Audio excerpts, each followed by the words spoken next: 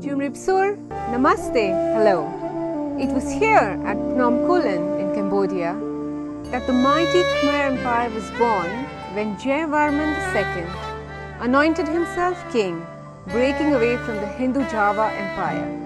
In this series, we will see how the Indic influence was absorbed and adopted into the local culture and is still a pivot point around which the Cambodian culture and life revolve. He suffered the pain of his subjects more than his own. Because it is the pain of the public that is the pain of kings, rather than their own pain. That's rather good, isn't it? You see, those words were inscribed back in the 12th century in numerous places. But it was a place of special significance where they would only ever appear. And that was at hospitals. Because quite unbelievably, the ancient kings of that lost empire were very good at dominating the land. They were exceptional at controlling water and upping the rice yield, making their land more fertile and therefore richer. But guess what? They also built over a hundred hospitals. And just over there is one of these ancient hospitals. Now, this is a doorway in that actual hospital. Behind me, a small room, and I'll be showing you around in just a moment. And it's a fascinating sight. But the story must be told first as to what happened here, because that will give you a much clearer idea. It'll stimulate your imagination, I often ask you to call upon.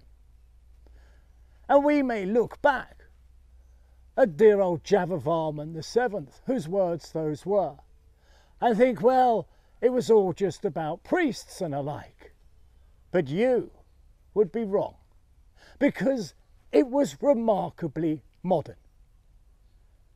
There are inscriptions that tell us what went into one of these hospitals. And as I say, there was over a hundred of them. The staff was extensive. There was, of course, priests, but there were doctors, there were nurses, there were guards, there were chemists, there was even cooks to make sure that the right food was supplied.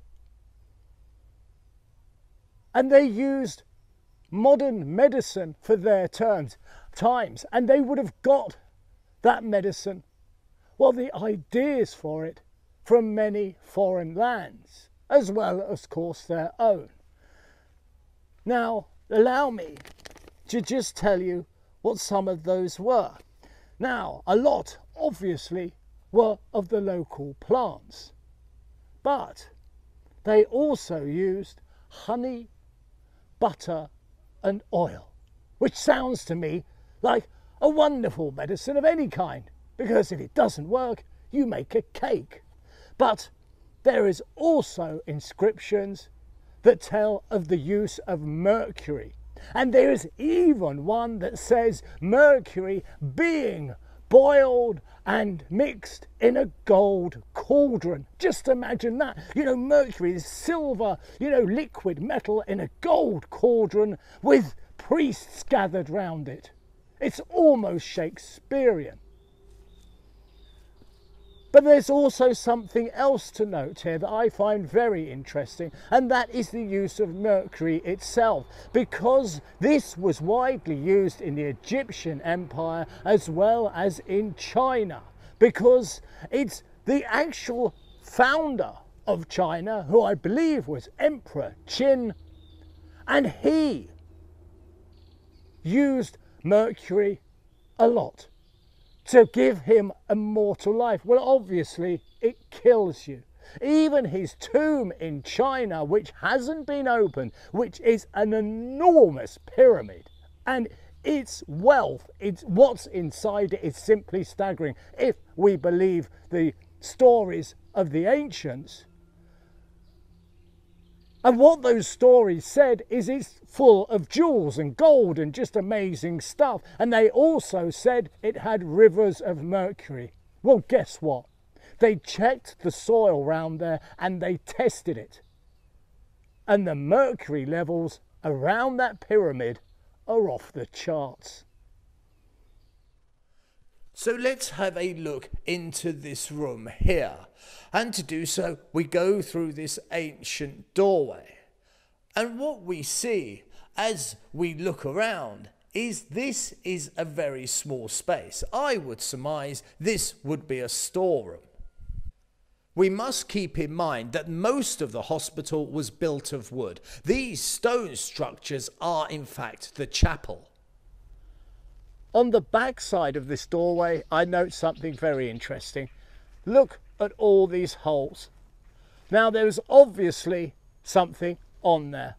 And it could have been, I don't know, it could have been a deity, or it could have been down the side here a list of what should have been in this room. I mean, why not? It just makes sense. But it is all conjecture because everything has been looted as is usual. And look at this place. Isn't it beautiful? And to think that King Jayavarman VII set up well over a hundred of these for his people. And he did everything he could to give them the absolute best of care. Now, the care would have come in two different forms, but both would be intertwined and interlaced together. The first would be spiritual care. The second would be medicine, and it'd be from their own history as well as sourcing information from far off lands.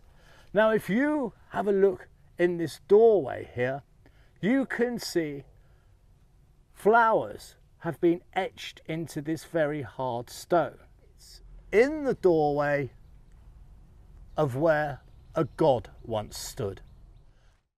And here is quite the anomaly, because this is a plinth for a Shiva linga. Our Hindu gods did make it here. But the strange thing is, this area at this time in history was Buddhist. So, through this doorway, looking outward, potentially there was once a Shiva Linga. So to me, this would be the very centre of it all because it shows how important faith was. We have what was probably a linga here. We have what could potentially be the other side of it all. Because without faith in your doctors and with recent knowledge gleaned from far off lands, you can't really effect a cure. And what is interesting here is there seems to be rooms within rooms. See, there's a wall here. But as we go down, there's a smaller room, another one over here. And this makes perfect sense because you would need a place for your high priest. But then again, you need a place for those all important doctors, as well as the chemists and the nurses and so on. So what we see here potentially is that doorway where we started is where the records were kept of the medicines and so on. Over here we have a place of worship. The two combined perfectly. The hospital itself is literally just there. And then that little pan shot I just uh, made you can see that this place is directly opposite. Now, why is it important? Well, it's an orchard and it makes perfect sense, doesn't it? I mean, you think you have your hospital right there. You put the patients in wooden buildings. Of course you do. The vast majority of the buildings of the ancients were made of wood. But of course you need to feed everyone, don't you? So you have your orchard and you also have your herb gardens for your cures. And it's quite incredible, isn't it? That even to this day, there's still orchards butted right up against the ancient hospital. The final word on this video goes to a Chinese emissary, a man named Zhou, who came to the mighty Khmer Empire in the 13th century. And he is truly exceptional because what he did was he kept a diary. And he speaks of medicine in that diary. And he does talk of mercury and sulfur being used. He also says there was rather a strange cure of people plunging into pools and rubbing their heads vigorously. But I'll tell you what, never underestimate a placebo. And if nothing else, it certainly gets you clean. And that is half the cure with medicine. I mean, with COVID, it is our hands we are washing. This has been Mr. B of Forgotten Temples. As always, I ask you to like, subscribe, and comment. And do tune in next time because I will be out there pounding those dusty tracks in search of those ancient Hindu gods, taking you on another adventure.